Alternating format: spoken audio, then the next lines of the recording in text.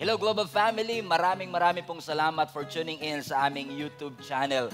I believe na ang YouTube channel na ito ay nagsisilbing malaking pagpapala po sa inyong buhay as we continue to share the Word of God sa bawat isa sa atin.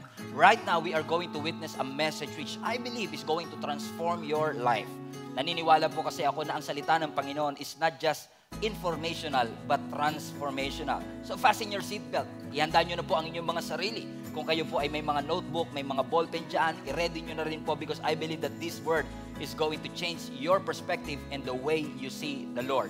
So right now, we are going to watch this message and I hope that God is going to bless you.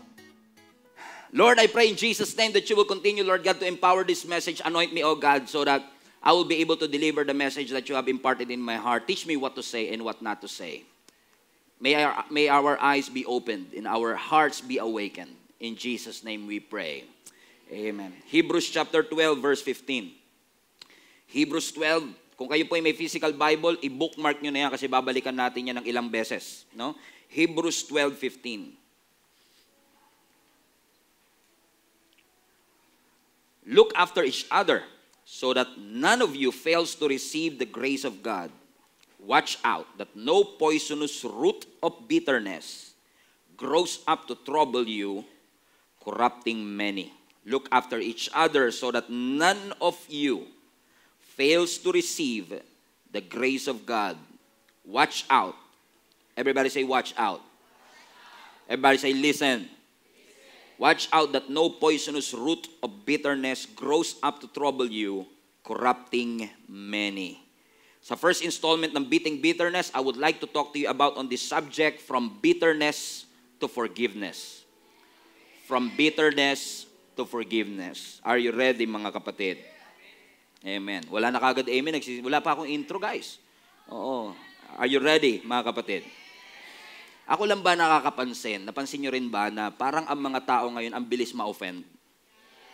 Parang napaka-hypersensitive natin. And I realize na isa sa mga reason kung bakit masyado tayo minsan emotional. And by the way, I'm not belittling what we feel. Hindi natin sinasabi na hindi mabigat ang ginawa sa atin ng ibang tao. It's just that I'm trying to let you understand na may mga tao talaga na parang emotionally hypersensitive. And usually, kaya tayo emotionally hypersensitive, di ko alam kung tama yung grammar na yan, pero kaya siguro maraming hypersensitive is because of the stress and the difficult situations na pinagdadaanan natin. Totoo naman, di ba? Pag dumadaan ka sa pagsubok, mas madali kang masaktan, mas madali kang ma-offend, mas madali kang magalit. I remember one time may isang member ng church na umalis ng church natin because hindi ko daw siya nata- nakindatan. I mean, yung nagkasalubong kami, alam mo yung hindi ka, hindi ka nakaganon. And And sabi nila, sabi niya, sungit ko daw kasi hindi ko siya pinansin. Sabi ko sa kanya, ganito lang talaga yung mata ko. I mean, singkit lang talaga siya, but it doesn't mean, I'm friendly, you know? I'm trying to be. Pero unfortunately, marami talagang tao ngayon because of uh, the difficult situation that we're facing. Pwedeng nawalan ka ng mahal sa buhay, nalugi ang negosyo mo, nawalan ka ng trabaho, pwedeng bunga ng trauma, ng stress na pinagdadaanan natin. Or pwede rin naman na kaya ka emotionally hypersensitive is because it's just part of your personality. Pero ang common sa ating lahat mga kapatid, ikaw man ay hypersensitive, hindi sensitive, o pusong bato. Okay? Naniniwala ako na lahat tayo at some point in our life nagagalit. Correct? Kahit si Pastor Stephen nagagalit, alam ko kayo nagagalit. At kapag tinatanong natin ang ating sarili, ano ang mga root cause? Ano ang mga dahilan kung bakit tayo nagagalit? Maaaring nagagalit tayo kasi nafe-feel natin na nare-reject tayo. Posibleng kaya tayo nagagalit because we feel threatened. Sometimes we feel attacked. Parang feeling mo, inaatake ka. Kahit asawa mo minsan, pakiramdam mo, ikaw, pinepersonal ka niya. Pwedeng pakiramdam mo, frustrated ka, pakiramdam mo, powerless ka, pakiramdam mo, hindi pinapahalagahan ng ibang tao ang iyong nararamdaman. Yung hindi nga lang nila pahalagahan yung mga gamit na ininvest mo, nakakagalit na. Like nag-invest ka ng, ng ipon mo sa isang bahay o kaya sa isang kotse, tapos kapag ginamit nila, eh, parang wala silang pagpapahalaga, nakakagalit nga naman talaga. Parang ako lang nagagalit dito. Sige, magpanggap tayo. Okay? We get angry when some people do not respect our feelings. Kapag hindi nila nire-respeto ang ating karapatan. But let me just say this to you. Theologically speaking, anger is not always wrong. Hindi porket nagagalit ka, mali ka na kagad. Anger could be righteous. Even God gets angry. Kahit ang Diyos nagagalit. He is angry, angry at righteousness, unrighteousness rather. Galit ang Diyos sa injustice. So hindi masamang magalit. Pero kapag yung galit ay na-mishandled, kapag ang galit ay na-misuse, kapag ang galit ay na-mismanage, doon siya nagiging kasalanan. Let me repeat. Anger is not wrong. But your response to that feeling of anger could be sinful. Hindi siya mali, pero yung response mo dun sa galit na naramdaman mo, pwede siyang maging mali at maging kasalanan. Paano nagiging bitterness ang galit? Ang galit, nagiging puot, ang anger, nagiging bitterness, kapag ka hindi ka nagpatawad at pinatagal mo yung galit na naramdaman mo. Because by definition, ang bitterness is prolonged anger. Pag yung galit pinahaba, hindi pinatawad, hindi na i-process, amen, galit ako sa iyo for 10 years. Yung anger na yan could be bitterness already. Because yung anger kapag ka pinatagal, nagiging bitterness. Let me say this to you. If you refuse to forgive, kung, kung, kung ayaw mo magpatawad, hindi ko siya papatawarin. Hindi ko tanggap ang kanyang ginawa. Niloko niya ako. Pinagsamantalaan niya ang aking nararamdaman. If you refuse to forgive, the anger will grow, the pain will grow.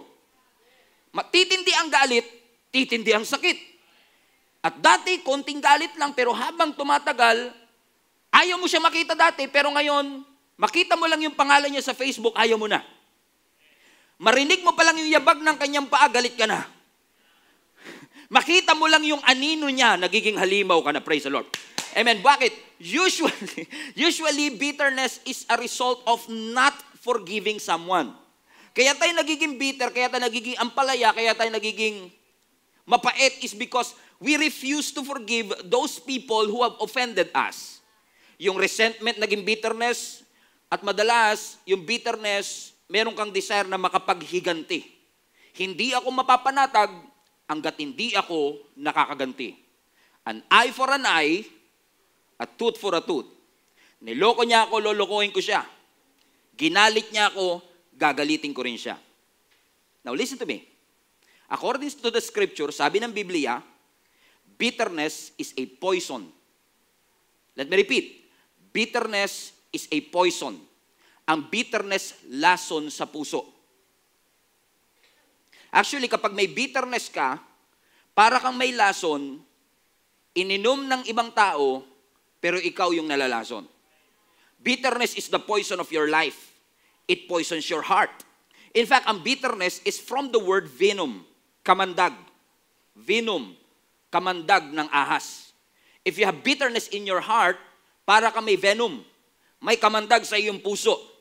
At ang base sa aking assessment, one of the saddest and miserable people on earth are bitter people. Kapag bitter, laging malungkot, laging miserable ang kanilang buhay. Hindi lang naapektuhan ng kanilang puso, even their physical bodies are affected by bitterness. Ang sabi mismo ng science, mga kapatid, ang bitterness could be a seed, ugat ng maraming sakit sa ating katawan. It could be a seed of mental and emotional instability. Yung parang ang buhay mo parang brewed coffee. Ang pait.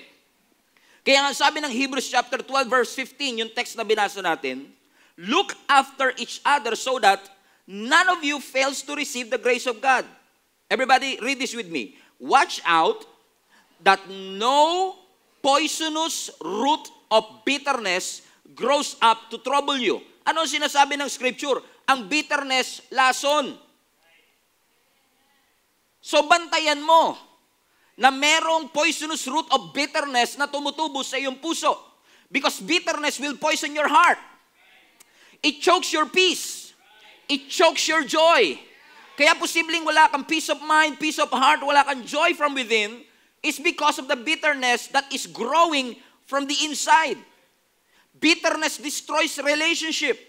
It, it, it, it nakakasira ito ng pag-aasawa. Better half, naging bitter half. Corny. Okay?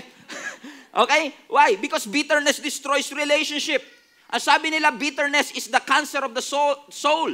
Ito ay cancer ng ating kaluluwa. Ang bitterness, mga kapatid, is an emotional suicide. Delikadong attitude ang pagiging bitter. Sabi nyo nga po sa katabi nyo, delikadong attitude ang pagiging bitter. Hindi maganda na lagi tayong matampuhin.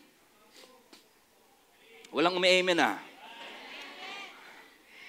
Hindi okay na lagi tayong matampuhin. Let me repeat again. Hindi tama na lagi tayong matampuhin kasi ang tampo pwedeng lumumpo sa iyong pagtawag. Kaya hindi ka maging epektibo at hindi mo malakaran ang purpose ng Panginoon because you allow the tampo to grow, to grow, naging galit, you allow it, naging resentment, you allow it to grow, naging bitterness. Now, yung nagsimula sa tampo, ngayon lason na sa iyong puso. Kung nasan siya, wala ka doon. 20 square meter lang yung bahay nyo. Pero kung nasan siya, wala ka doon. Pag nasa ref siya, wala ka doon. Naalala ko kami ni Jenny, pag minsan, pag may tampuan kami, pag nandun siya sa may kusina, wala ako doon. Nasa sala ako. Amen? Bakit? Kasi yun ang ginagawa sa atin ng galit, di ba? Ayaw mong makasalubong yung taong may sama ka ng loob.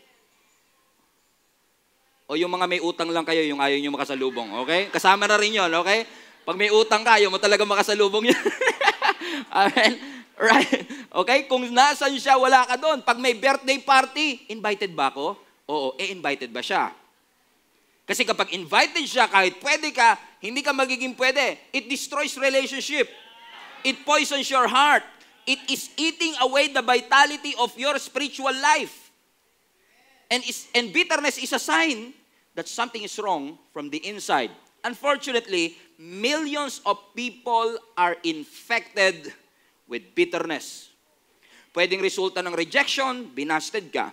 Rejection, hindi ka natanggap sa trabaho, hindi ka nakapag-abroad, o pwedeng ang bitterness ay resulta ng heartbreak.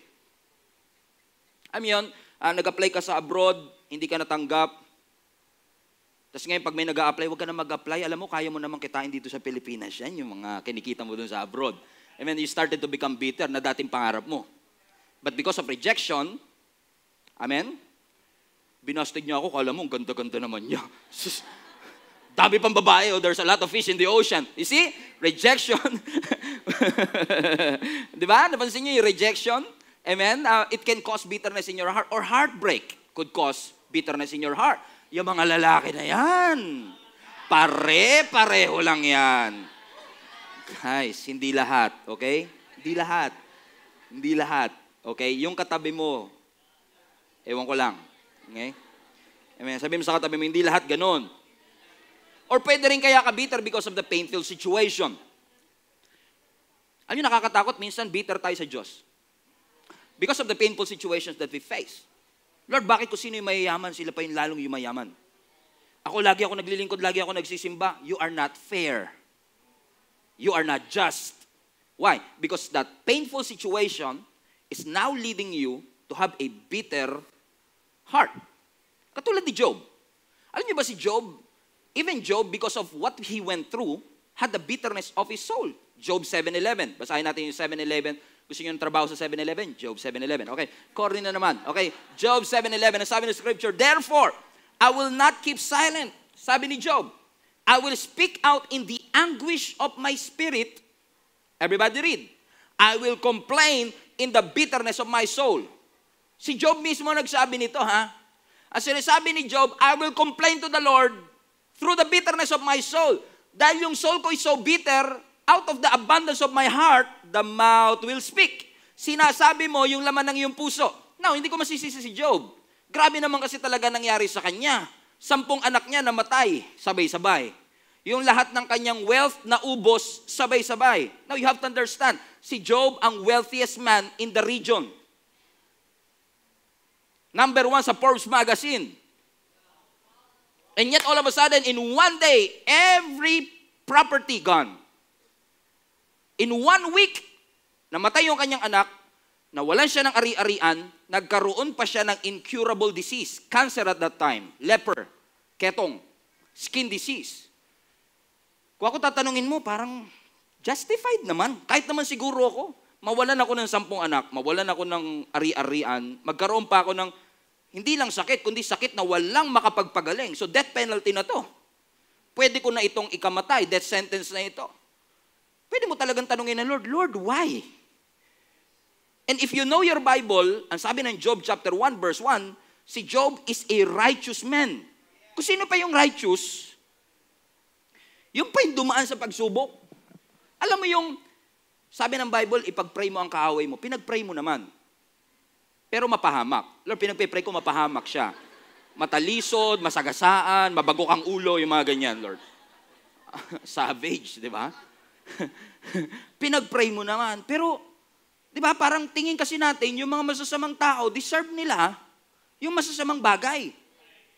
Pero pag tinignan natin ang realidad ng buhay, minsan kung sino pa yung mababait, kung, kung sino pa yung mahilig mang istorbo, alam mo yung nagbibidyo kayo hanggang alas tres, sila pa yung wala sa tono. Pasin niyo yun? Buti sana kung mala Sherin Reyes o mga Morissette, yung mga boses eh. Di ba? Yung sila lang nag enjoy sa kanta nila. Di ba? Para, alam mo, lagi kong ini-illustrate yung video kanya kasi sa amin may ganyan eh. o may ganyan kasi sa amin. O, kaya, eh, tayo mga pinipreach natin, practicality lang ng buhay. But, but anyway, what I'm trying to say is this. Kung si Job lang ang tatanungin mo, meron siyang, ako ako tatanungin mo, meron si Job every right to get angry. Possibly get angry with God kasi even yung kanyang asawa that is supposed to help him, discourage him. Ang sabi ng kanyang asawa, sumpain mo na yung Diyos mo. What, what kind of support system is that? Even your friends, pinuntahan nga siya ng kanyang mga kaibigan para naman isisi sa kanya ang lahat. Kasalanan mo kasi yan. Baka may mga kasalanan ka hindi pinagsisisihan. Baka may pagkakamali ka sa Diyos. May kaibigan kayong ganyan? Marami. Maraming ganyan. Okay? Imagine niyo yung scenario ni Job kaya siguro maintindihan ko kung may bitterness talaga siya sa kanyang puso.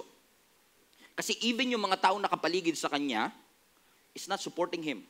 And I've realized lang, just let me just say this to you, one of the greatest threat in your peace is people. Pasinin nyo, isa sa mga greatest threat sa peace natin, yung mga tao nakapaligid sa atin. Because people are going to hurt you. People are going to offend you. People are going to disappoint you as long as you live. Hindi ka, na mao, hindi ka lang mau-open ng mga tao kung patay ka na. Pero hanggat buhay ka pa, the potential to get hurt is real. Everybody shout, hurt is real. Put that in the chat. Hurt is real because words will be spoken to you. Actions will be taken that will hurt your feelings. As long as involved ang tao, involved ang friction. As long as involved ang tao, involved ang misunderstanding, involved ang sakit, involved ang tension, involved ang galit. Nandyan na talaga siya. Hurt is real. So we are not going to discuss today the obvious. What God wants to do for us today is for us to pinpoint nasan ang ugat ng lahat ng galit na meron tayo. Kung bakit 6.30 pa lang ng madaling araw, mainit na kagad ang ulo niya. May kilala ba kayong ganon? Amen? Because if you don't deal with the root, your soul will deteriorate. Kahit magbago ka pa, kahit i-replace mo pa, you cannot change it unless you deal with the root. Tanggalin mo mismo sa pinaka-ugat. Amen. Nangyari na po ba sa inyo to na meron kayong family member na galit sa inyo, wala naman kayong ginawa? Kasi nga wala kang ginawa eh. Hindi, joke lang. Alam mo yon? Alam na alam mong hindi ikaw yung source ng kanyang galit, pero ikaw lang yun na pagbuntunan sa Tagalog. Napagbuntunan nung kanyang galit. So ang tanong mo kagad, ba't ka ba galit? Because we want to address what is the root. Para ako lang yung nagigilty rito, ako lang yata yung nagagalit and everything. And unfortunately, in our day and age, maraming mga motivational speaker will teach you how to control your anger. Kasi ngayon, imbis na theology, ideology na lang. Ito yung gawin mo, ito yung gawin mo, ito yung nakasana, ito yung gawin mo, ito seven steps to control your anger without even referencing the Word of God. Ang solution for bitterness is not ideology, theology. It's, it should be theology. Naalala ko si Naomi. Okay? Si Naomi, mga kapatid, ay uh, mother-in-law ni Ruth. Itong si Naomi, kung, kung di po kayo familiar sa story nila, si Naomi po, mga kapatid, ay um, daughter-in-law niya si Ruth. Si Ruth na pang-asawa si Boaz. Remember the story? Itong si Naomi, nakaranas sila kasama si Ruth, okay? Nakaranas sila ng severe famine sa kanilang lugar sa Bethlehem. At dahil nakaranas sila ng severe famine, na-force sila ngayon na pumunta ng Moab. By the way, kung di nyo alam ang Moab, Moab is an, a territory of the enemy. Kasi minsan pag gutom ka na, kahit sa kaaway mo, kakain ka. Okay? Kasi nandun lang yung source of food. So pumunta sila sa Moab, a mistake by the way, pumunta sila sa Moab para kumuha ng food. Habang nasa Moab sila, ang sabi ng scripture, yung asawa ni Naomi na sa Elimelech namatay. Nabiyuda siya. Plus, listen to me, hindi lang siya namatayan ng asawa, yung kanyang dalawang anak, isa doon asawa ni Ruth, yung kanyang dalawang anak namatay din. So lahat ng lalaki sa buhay niya namatay. Lahat ng source of provision and protection namatay. And, he's, and she's angry at the Lord. Kasi lahat ng sources of protection and provision, kasi pag widow ka at that time, parang death sentence na rin. Walang tutulong sa iyo. You cannot work. So wala kang sariling kabuhayan unless may magpakain sa iyo. So wala siyang source of food, wala siyang source of provision, nagalit siya. And then, sabi niya kay Ruth, tsaka yung isa pang asawa ng kanyang anak, iwanan niyo na lang ako. Balik na kayo sa mga nanay ninyo kasi hindi ko na kayo kayang buhayin. Pag hindi kayo nakapag-asawa, mas magiging miserable pa buhay niyo compare sa akin. So yung isang asawa umuwi, pero si Ruth sabi niya, hindi, hindi kita iiwan. Sabi niya kay Naomi, your people will be my people. Amen? Sasama ako sa iyo kahit ano mangyari sa iyo. So sinamahan siya ni Ruth. Kaya si Ruth at si Naomi, dikit yan. Close yan sila. Okay, sinamahan siya ni Ruth. Ngayon, ang sabi ni Naomi, okay, gawin natin, balik tayo sa ating hometown. So galing sila ng Moab, namatayan siya ng asawa at dalawang anak sa lugar na yon. Gusto na nilang bumalik ngayon sa Bethlehem. Now, this is where it gets interesting. Pagbalik nila ng Bethlehem, nasa lubong siya ng mga dati niyang kapitbahay. Ang sabi sa kanya, Naomi, ikaw ba yan? Tignan niyo response ni Naomi. Ruth chapter 9 verse 19. Ruth 1, 19.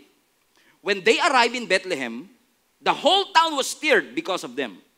And the woman exclaimed, Can this be Naomi? Verse 20. Don't call me Naomi. Call me Mara. Now, Mara means bitter. Kaya Mara Clara. Oh, may pinalaya. Praise the Lord. Yung iba sa inyo, yun lang ang kailangan. Pwede na. Oh, 10 years of wisdom. Amen. Sabi niya, call me Mara because, tingnan niyo to, kanino niya sinisi? Because the Almighty has made my life very bitter. Watch this, verse 21. I went away full, but the Lord has brought me back empty. Not true, by the way. Why call me Naomi? The Lord has afflicted me. The Almighty has brought misfortune upon me. Now listen, namatayan siya ng dalawang as- anak, nawalan, nawalan siya ng asawa, bumalik siya ngayon sa Bethlehem. Ang sabi ng mga kanyang kababayan, Uy, si Naomi bumalik. Ikaw ba yan? Sabi niya, huwag niyo akong tawagin Naomi. Tawagin niyo akong bitter. Because Naomi means sweet and pleasant. Okay? Sabi niya, huwag niyo akong tawagin sweet. Hindi tayo close. Huwag niyo akong tawagin pleasant because what happened to me is not pleasant. Call me bitter. Now, it's interesting to me that sometimes we want to be identified with our circumstances. You fail, but you are not a failure. Amen? Ang sabi ng mga kapitbahay niya, ikaw na ba yan? Ang sabi niya, wag niyo akong tawaging pleasant. Tawagin niyo akong bitter. Self-admission. Siya mismo ang tumawag ng bitter sa kanyang sarili. She was so angry with God and her situation na ayaw niya magpatawag ng Naomi. Ayaw niya magpatawag ng sweet. Now, I don't know kung how true it is. I'm trying my best to, so, to research. Pero pakiramdam ko, ito na lang yung unang beses na ang ganda na ng pangalan mo sa Bible ha, pinapangit mo pa. Kasi sa Bible, pag pangit, pinapaganda ni Lord. Usually ganun eh. Parang ito lang yung nakita ko sa Bible na ang ganda na ng pangalan mo, pinapangit mo pa. Pleasant na, sweet pa, ayaw niyang, ayaw niyang i-declare. Alam niyo, di ba lagi ko tinuturo sa inyo, kahit hindi maganda ang buhay, i-declare niyo kung ano yung gusto niyo makita in the future. Huwag niyo i-declare ko ano, pero siya hindi. Tingnan niyo buhay ko. The Lord has afflicted me and brought misfortune in my life. I don't deserve to be called Naomi. Call me bitter. Kaya ko na-realize that bitterness is a choice. You cannot control what happens in your life, but you can control your response to what is happening in your life. Hindi niya makokontrol na namatay yung kanyang asawa at dalawang anak. Pero teka lang, yung papalitan mo pa yung pangalan mo, at hayaan mong mag-declare pa ng bitterness ang ibang tao sa buhay mo, choice mo yun. Bitterness is a choice. Kumbaga, hindi natin minamaliit ang nangyari kay Naomi, pero yun yung nagsilbing focus ng kanyang buhay. Wala na siyang makitang magandang future. Ginawa mo na sa akin yan, hindi ko na nakikita ang recon- reconciliation in the future. Friends, over na tayo. Sinira mo ang tatlong taong pagkakaibigan natin. Hindi na kita papansinin. Kadugo pa naman kita. Ginawa mo sa akin yan. Pera lang yan, pinag-aawayan pa natin. Negosyo lang yan, pinagtatalunan pa natin. Hindi na kita babatiin. Parang totoo, no? Because bitterness is a choice. Hindi ko sinasabing mali ang magalit, pero wag mong gawing bida sa buhay mo ang bitterness. It will poison your life. At nakakalungkot dito, sino ang sinisi ni Naomi? Yung Diyos.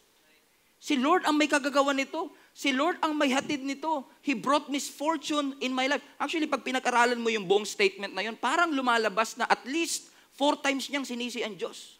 At least four times. Si Lord ang may kagagawa nito. Si Lord ang may gawa nito. Which made me realize, teka lang, hindi ba yung buhay pa siya at hindi ba yung, hindi ba gracious pa rin ang Panginoon kahit na may mga misfortune na nangyayari sa ating buhay?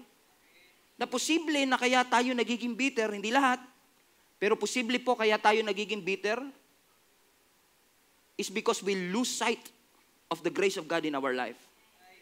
We lose that perspective na oo, may ginawa ang taong mali sa buhay ko, pero ang Diyos mabuti pa rin sa buhay ko. What they did to me is wrong, but that made me strong. Perspective. Don't ever lose sight of the perspective that God is gracious in your life. Look at the, the text that we are reading again sa Romans 12:15. Di ba sabi doon, uh, Hebrews 12:15 rather, look after each other so that none of you fails to receive the grace of God. And usually, one of the reasons why we are bitter is because we fail to see the grace of God. We lose sight of the perspective na ang Diyos nga pinatawad ako, ako hindi ako makapagpatawad. I'm not judging you. I'm just saying, wag mong tatalanggalin sa iyong kaisipan that God is gracious ang buhay na punong-puno ng pait ay posible kapag nawalan ka ng perspective na ang Diyos ay gracious at forgiving sa ating buhay. Look at everything that what uh, look at everything that God has done in our life and yet we fail him thousand times, million times. But a thousand times we fail, still God's mercy remains. Nanatili pa rin ang ating Panginoon. Huwag niyong tatanggalin yung perspective na ito, kapatid mabuti pa rin ang Panginoon. Amen? Amen. Nasira na yung vertical, ah, sorry, horizontal relationship. Sisirahin mo pa ba yung vertical? Don't lose sight of God's perspective. Posible rin kasi na hindi tayo makapag-forgive horizontal is because we fail to receive the grace of God in our life. Tingnan nyo, sabi mismo ng ating Panginoong Yesus, bago ka manalangin, bago ka lumapit sa akin, kung may naalala kang sama ng loob sa iyong puso, tanggalin mo muna. Di ba? Magpatawad ka muna. Mark 11.25. Watch this. Everybody read. But when you are praying, first, forgive anyone you are holding a grudge against, so that your Father in heaven will forgive your sins too. Hindi naman ako nagsabi niya, di ba? Binasa lang natin. Pero ano sinasabi ng Panginoon? Ano ulit sinasabi ng Panginoon? Bago kayo manalangin, bago kayo lumapit, patawarin niyo muna lahat ng mga taong meron kayong sama ng loob. Ano naman ganyan, Lord? Ano ko naman naiintindihan mo kung ano ginagawa nila eh. Tama? I have a case to you. I have a case na posibleng meron tayong mga unanswered prayer is because of the unforgiveness in our heart. Mm. I'm not saying lagi, But I want to present a case to you na posibleng kaya tayo may mga unanswered prayer is because we fail to address what's, in the, what's inside our heart. Kasi kung titingnan mo ang context ng Mark 11.25, I want to show you the context of Mark 11.25. Kasi ang context ng Mark 11.25, famous verses. Okay? Let's go to uh, Mark 11.22 first. Basahin natin 22 hanggang 25. Everybody read. Then Jesus said to the disciples, Have faith in God. 23. I tell you the truth. You can say to this mountain, may you be lifted up and thrown into the sea, and it will happen. Pause. Alam niyo itong verse to? Yes. Nasabi ng Panginoon, because of your faith, pwede mong utusan ang bundok na maurong. Amen? Ganun ka makapangyarihan ng prayer natin. Next. But, but you must really believe it will happen and have no doubt in your heart. Verse 24. I tell you, you can pray for anything, and if you believe that you received it, it will be yours. Oo, sarap! 25. But, yun, patay tayo dyan. Patay tayo dyan. Amen? Ang ganda na ng verse 24 eh. Pinasok pa yung 25 eh. Amen? Kaya minsan tayo, di ba, parang selective tayo sa verses. Pero ano sabi ng scripture? Gusto nyo ba na ang inyong mga panalangin ay diniringgin? Yes. Ang sabi ng scripture, kapag naniwala kang it will happen at tinanggap mo, by God's grace matatanggap mo. Pero, kapag nanalangin ka at may naalala kang sama ng loob, bitawan mo muna. Patay tayo dyan. Ano sinasabi ng ating Panginoong Yesus? Gusto ng Lord, i-confront mo yung laman ng puso mo. Hindi po pwedeng ilihim mo yan. Lumaharap ka na sa Panginoon, nakalihim pa eh. If you cannot confront it, you cannot heal it. God cannot heal it. Kailangan i-expose, kailangan i-confront. Yun ang sinasabi lang naman ng ating Panginoong Yesus. You are asking me for something, pero yung puso mo, gusto kong pagalingin eh. Gusto kitang palayain.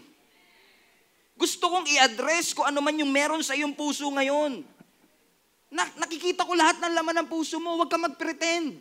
If you pretend, it will not end. Be real. Maging totoo ka sa ating Panginoon.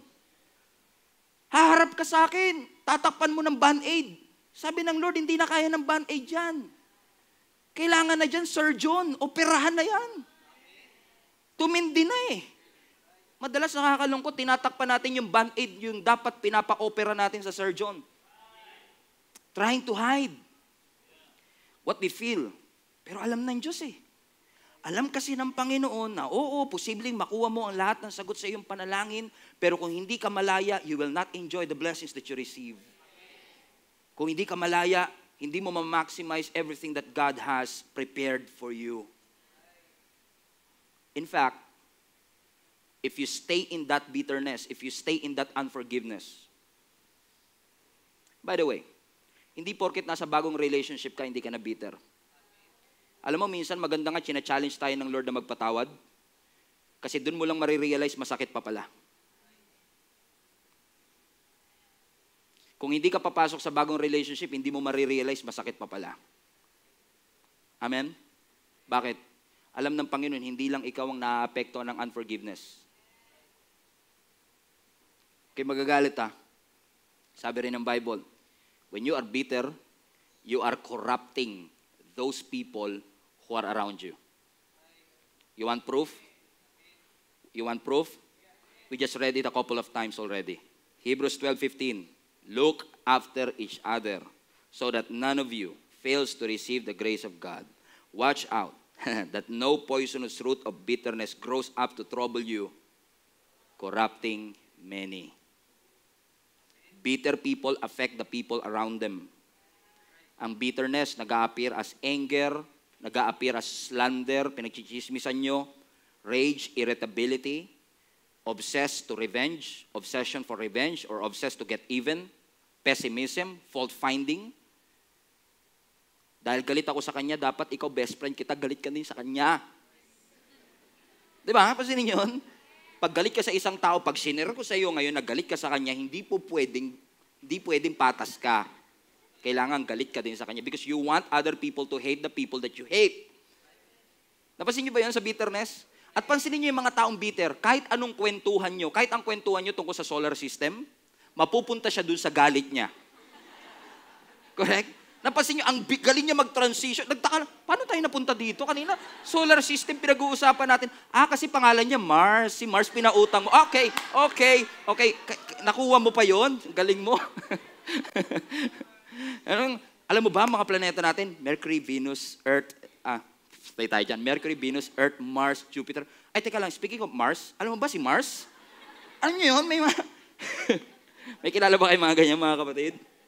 Because you are so, you are so hurt, you are so angry, galit na galit ka talaga. Kaya na-realize ko mga kapatid, listen to me, ang bitter, bawal mag-Twitter. Kasi kapag ang bitter nag-Twitter, delikado. Pansin ko lang, alam niyo, lalo ngayon mga kapatid, I'm not, I- hindi ko, hindi ko nag-iimbento ha. Ang Twitter ngayon is tagged right now as a platform of hate and rage. Unfortunately. Kaya yung mga bitter, huwag niyong paghahawakin ng social media. Kasi ang bitter, pagka nag-post sa social media, hindi lang yung post niya, binabantayan niya. Lahat ng mga nag-like, titingnan niya lahat yon. Uy, agree sa akin yung kapitbahay ko, friends kami nito. Ay, yakap lang, galit tayo. Ay, pinusuan, best friend kita. Because you want, you want the people that you hate will hate others as well. Let me just rephrase again. Buti na lang, sabi ng Lord, magpatawad tayo. Kasi minsan, pag hindi ka challenge ng Lord to forgive, hindi mo marirealize, masakit pa pala. Dinaan mo kasi sa pagiging defensive. Kasi ayaw mo i-address. Kaya dapat hindi tayo na masyadong defensive kasi pine-prevent natin yung sarili nating paggaling. God wants to address that. And I believe you are not here by accident. Gusto ng Lord talaga na pagalingin tayo. Pastor, you don't know what you're talking about. You don't know what they did to me. Grabe ang ginawa nila sa akin. I have every right to get angry. Okay, I will give that to you. Hindi ko sinasabing mali yung galit na nararamdaman mo. Mali yung kanilang ginawa. It's, right, it's just right to feel the pain. It's okay, naramdaman mo talaga yan. May mga tao talagang abusive sa mundo. May mga tao talagang hi- walang sensitivity sa nararamdaman ng ibang tao. Mga unrepentant, inhuman, savage. Mga taong backstabber, insensitive, mapagsamantala. May mga tao talagang kailangan mo layuan. At may mga grupo talaga ng taong kailangan mong layuan. But I pray that today, the Holy Spirit will make you realize that your calling is bigger than your pain. I pray that the Holy Spirit will make you realize that your destiny is bigger than your pain. Huwag kang magpakulong dun sa galit na iyong nararamdaman. Forgive for your own sake. Huwag na lang para sa kanila. Para na lang sa'yo. Para ikaw ay lumaya. In fact, ang si Lord nga matindi. Sabi nga ni Lord sa atin, ah, sabi nga ng Lord sa atin sa, through Apostle Paul, di ba? Huwag ka lang basta magpatawad. Bago pa, bago, ka, bago pa sila magkasala, meron ka ng ano, may allowances ka na. Di ba? Sabi ni Apostle Paul sa Colossians 3.12, make allowance for each other's fault. Kasi bawat tao magkakamali. Bawat tao, they will fail you. They will let you down. Amen? Basahin natin Colossians 3. Make allowance for each other's faults and forgive anyone who offends you. Remember, the Lord forgave you and you must forgive others. Ano ba ibig sabihin ng make allowance dito in the Greek? Make allowance, kasi tayo, when we forgive, nagpo-forgive ka kapag may ginawa na. Pero yung make allowance dito in the Greek, hindi pa nagkakasala, meron ng nakaantay na kapatawaran. Wow. Grabe si Lord, no? Make allowance, forgive, so that you will not be consumed with bitterness. Naalala ko si Cain and Abel, si Cain at si Abel. Si Cain was so consumed with his, with his anger. Pakiramdam kasi ni Cain may favoritism ang Diyos. Pakiramdam kasi natin, hindi tayo mahal ng ibang tao. Pakiramdam natin, wala silang malasakit sa atin. Pakiramdam natin ganito. Hindi ko sinasabing hindi totoo, pero minsan sa totoo lang, parang hindi tayo magkaroon ng kapayapaan sa ating buhay because I need answers. I need explanation. I deserve an explanation. Parang Papa P yun eh. I don't understand, Lord, yung mga nangyayari sa aking buhay. Bakit ako niloko ng asawa ko? Bakit ako binitray ng mga kaibigan ko? Ako yung hindi nagsisigarilyo, ako pa yung may lung cancer. 15 years na ako sa kumpanya, ako pa yung tinanggal. Yung katabi ko, nagpe-Facebook lang. Na-promote pa. Anong nangyayari dito? Yung upuan ko, monoblock, yung sa kanya, office chair. Hindi ko matanggap ito. Hindi ko ito maunawaan. And sometimes we, is, is, we are having these challenges to forgive because we are trying to find answers to the Lord. Lord, why? Pero minsan na-realize ko, minsan kahit na walang sagot at hindi natin maunawaan, siguro kaya din sinasabing forgiveness is a decision because sometimes you don't feel like forgiving and you will forgive anyway. Anong basis ng forgiveness mo? Dahil ba nagpatawad siya? Dahil ba lumuhod siya? Dahil ba nakiusap siya? O ang basis ng pagpapatawad mo, kasi ang Diyos pinatawad ako. So dahil pinatawad ako ng Diyos, kahit hindi ka lumuhod, kahit hindi ka mag-sorry, kahit hindi ka mag-apologize, it's okay. It's okay. Ang bitterness, ang inahabol niyan, retaliation. Gaganti ako. Pero ang forgiveness, ang inahabol niya, reconciliation. So learn to forgive. Decide to forgive. Naalala niyo si Joseph? By his own brothers, sarili niyang kapatid, pinagtangkaan siyang patayin. Gustong wasakin ni Satan ang destiny ng kanyang, ni, ni Joseph sa pamamagitan ng mga wrongdoings na ginawa ng kanyang mga kapatid. And yet, after everything that happened to Joseph, Genesis, nung nakita niya uli yung kanyang mga kapatid, at that point, hindi pa sila nag-apologize, hindi sila humingi ng tawad, hindi sila lumuhod, ni hindi nga nila na-recognize yung sarili nilang kapatid na pinatay nila o pinagtangkaan nilang patayin. And yet, sa kabila ng lahat, pinakain sila ni Joseph. Pinatuloy at pinatira sila ni Joseph. Hindi sa ba, pinatira sila ni Joseph, inako sila ni Joseph, pinatawad sila ni Joseph. Kasi ang sabi ni Joseph, I know you meant, you meant it to harm me. But God used it to fulfill the purpose of God in my life. In essence, what you, what you did to me is wrong, but it made me strong. God used what I have been through to make me strong right now. Ephesians 4. Alisin ninyo ang lahat ng sama ng loob. Lahat ng galit, lahat ng puot, lahat ng sigawan, panlalait at lahat ng uri ng masamang hangarin. Maging mabait kayo sa isa't isa. Mahabagin, nagpapatawaran sa isa't isa kung paanong pinatawad kayo ng ating Panginoon. I know forgiveness is hard, but forgiveness is possible because God forgave us for everything that He has done. As I've said, forgive for your own sake. Huwag mo na munang isipin kung paano ka gaganti. Huwag mo na munang isipin kung paano mo iwi-wish na may maling mangyari sa kanila. In fact, ang sabi rin ng scripture, oh, Romans 12, never avenge yourself. Leave it to the wrath of God. For it is written, vengeance is mine and I will repay you, says the Lord. Kapatid, bitterness is keeping you from God's best. Ang daming gustong ibigay pa ng Lord sa'yo. Hindi mo maranasan is because of that hate and anger that you feel. I'm not commanding you right now to forgive. I'm just saying, allow the Holy Spirit to work on your life. I-allow mo yung Holy Spirit. Alam kong matagal mong sinarado ang pintuan mo sa pagpapatawad at sinabi mo, mamamatay na lang kaming ganito and I will, e- I will never ever forgive that person. Mapapatawad ko lang siya kapag nakaganti ako. But give yourself a chance today. Just give yourself a chance to open up your heart and say, Holy Spirit, work through my life. Enable me to forgive. Enable me to be free. Every head bow, every eye close.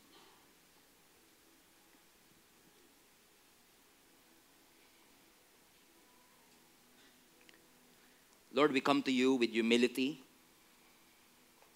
We want to admit, Lord God, mahirap magpatawad. Hindi namin maintindihan kung bakit nila ginawa ang mga ginawa nila sa amin.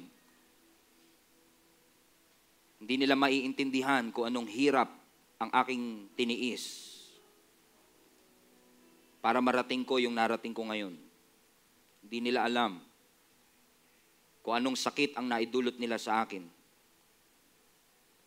They have no idea kung anong challenges ang aking hinarap just for me to overcome all the sadness and depressions that I felt. But today, I will choose, Lord God, to forgive. Alam ko, Lord God, na yung lakas sa aming puso is not enough for us to forgive. So God, I come to you. Everybody is listening under the sound of my voice. Empower each and every person, Lord God, to forgive. And allow us to make a decision today to allow you to be the vindicator of my life.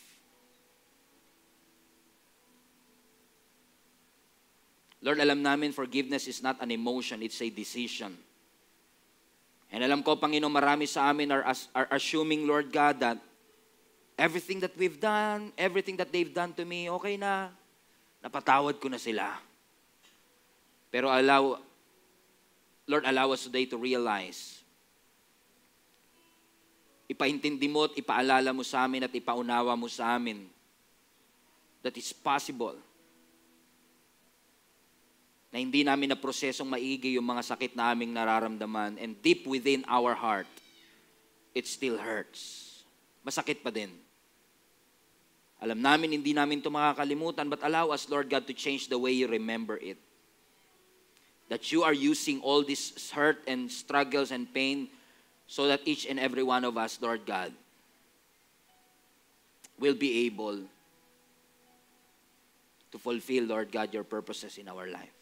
Alam ko, Panginoon, na lahat ng aming mga pinagdaanan ay hindi aksidente. Alam ko na ang lahat ng mga ginawa ng tao sa amin, mabuti man ay masama, ay hindi aksidente. Lahat po yun, Lord God, ay inalaw mo para patatagin kami at palakasin kami for us to face, Lord God, all the challenges that we will face in the next season of our life. So today, allow us, Lord God, to let go and remove, Lord God, and throw away every baggage, every unforgiveness, every bandage, every sin, Lord God, that easily ensnares us so that we can walk freely and light to the purposes that you have for us. Allow each and every one of us to forgive. Lord, alam ko, forgiveness is also a process. So allow us, Lord God, and lead us, Lord God, from this day forward, tulungan niyo po kami upang sabay-sabay po naming ma-realize at makita ang lahat, Panginoon, ng mga bagay na pinapagawa nyo sa aming buhay. Maraming marami pong salamat. Ito po ang aming panalangin sa pangalan ni Jesus. Amen.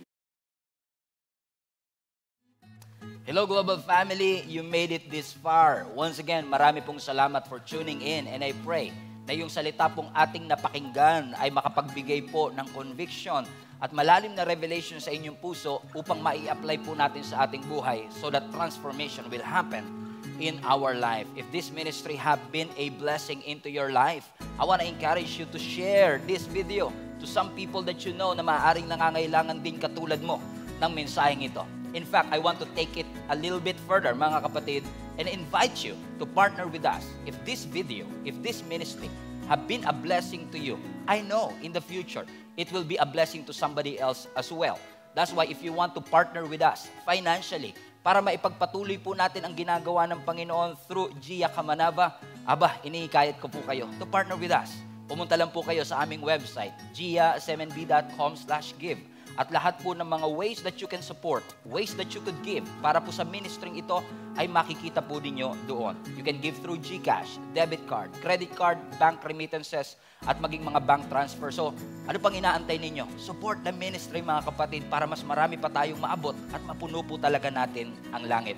In fact, I want to take this opportunity as well. If you have been watching the video for quite some time, wala po kayong church na kinakabilangan and you want to deepen your relationship with the Lord, I want to encourage you to join our link up groups. Ginagawa po namin yan in person or online.